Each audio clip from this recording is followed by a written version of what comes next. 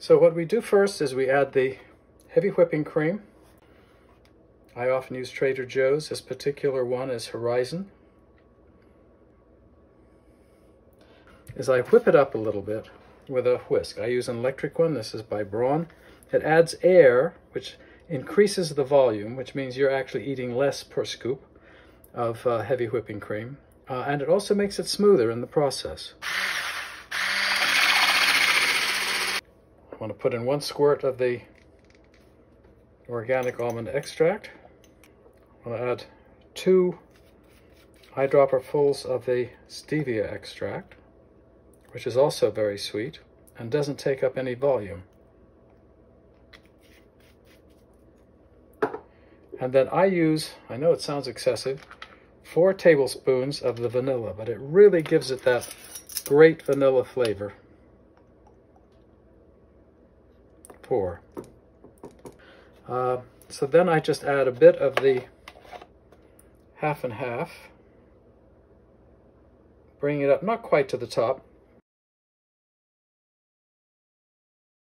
And we take off this cover. And then we simply pour in the cream.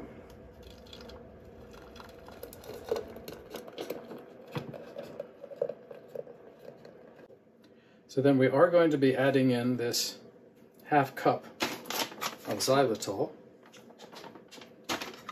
But first we put on the cover, seat it down well, lock it well, and start the machine.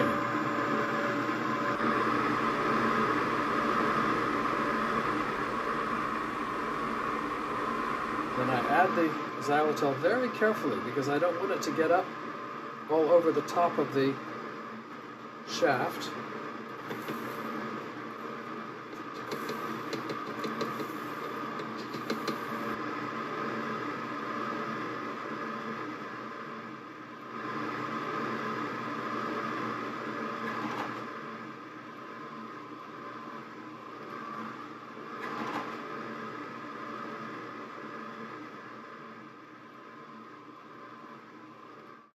Okay, then we just lift the bucket out, and it's quite cold.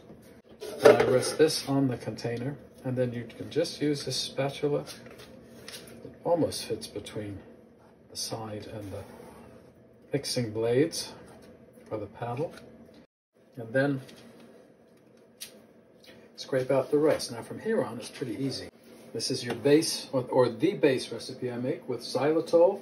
This is a high-fat ice cream. It's not designed to be low fat. It's designed to be no sugar. So it's good for diabetes. And if you check on xylitol, you'll find that xylitol is a very good sweetener and doesn't react with the body like sugar does.